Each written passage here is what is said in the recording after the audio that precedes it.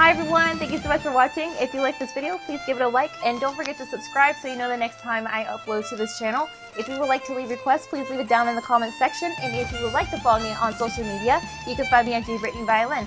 That's it. I'll see you guys next time. Bye.